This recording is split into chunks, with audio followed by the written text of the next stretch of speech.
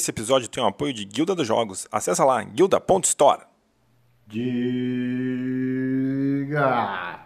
Meu nome é Eduardo Guerra, estou aqui com mais 5 minutinhos de guerra no canal 3 dos.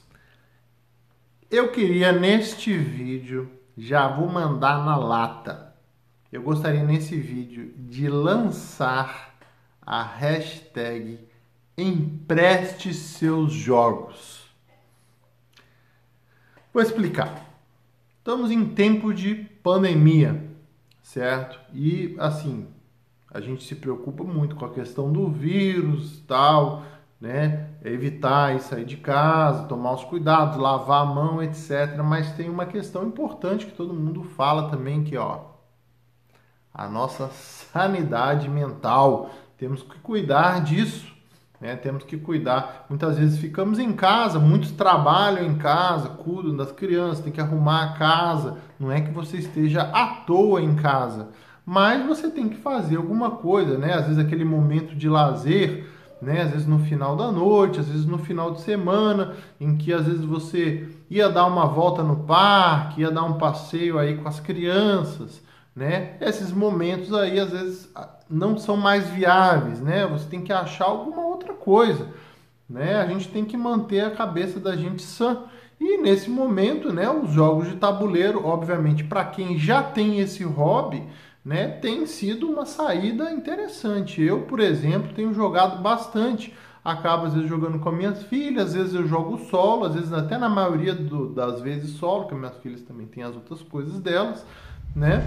É, mas isso aí me ajuda a manter a minha cabeça aí é, sã, né, tranquila. Só que muita gente não conhece ou não tem esse costume de jogar, né? E a gente que tem uma coleção enorme, um monte de jogos ali na estante, a maioria deles parado, porque você não vai jogar todos ao mesmo tempo, né? Às vezes você vai jogar alguns, né?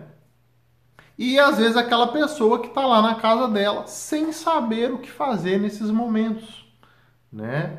E aí vem essa hashtag aí, empreste seus jogos, tá? Por quê? Às vezes aquele seu amigo que tem um filho, né? Que tá lá, não sabe o que fazer com o filho. Nossa, olha que bacana se ele tivesse um jogo interessante que ele pudesse jogar com o filho dele, né? Às vezes é um casal que tá, tá preso, digamos assim, junto, né? E quer fazer alguma coisa diferente. Às vezes um jogo que funciona bem para dois jogadores, de repente você pode emprestar para eles jogarem. Às vezes é aquela, aquela galera que joga, às vezes joga eventualmente com você, até conhece os jogos, mas não tem uma coleção em casa que possa é, que possa usar, que que possa recorrer a alguns jogos, ou às vezes até a pessoa tem, mas às vezes uma coleção pequena, ou até mesmo aqueles seus amigos que têm jogos, têm costume de jogar, mas querem jogos diferentes, né? Às vezes gosta muito de um jogo que você tem, mas que ele não tem, às vezes vocês jogavam até juntos,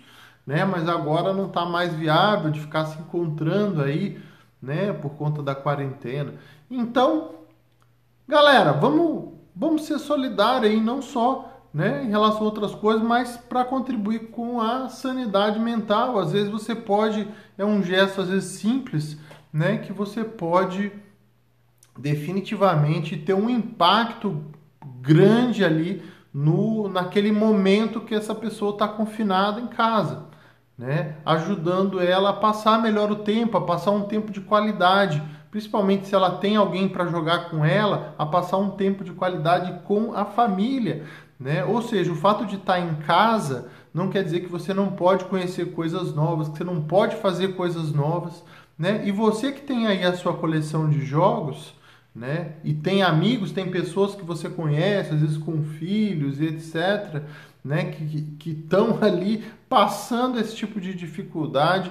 Às vezes você pode causar um impacto e, de uma certa forma, por que não estar disseminando ao mesmo tempo esse nosso hobby de jogos de tabuleiro, que é um hobby tão saudável, tão interessante aí, que a gente curte de montão, né? Então, vou dar um exemplo. Tem um amigo meu que ele tem dois filhos pequenos, pegou aí uns jogos meus infantis e está jogando com eles, está curtindo lá com eles, né? Então, galera, Vamos abrir aí, abra o seu coração, abra a sua coleção e hashtag empreste seus jogos.